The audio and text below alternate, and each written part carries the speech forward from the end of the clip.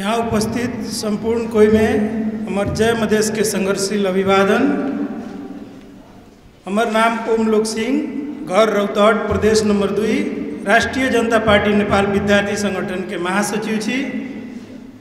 वास्तव में विभेद में पड़ल संपूर्ण मधेसी जनजाति, आदिवासी, मुस्लिम और अल्पसंख्यक समुदाय के पहचान, स्वाभिमान और सम्मान के स्थापना के लिए हम सब संघर्षरत थी और मानव सूचांक में सबसे पिछाड़ी पड़ल प्रदेश नंबर दुई के कैसे आगे ले जाए एक हम सब काज कर रहा धन्यवाद।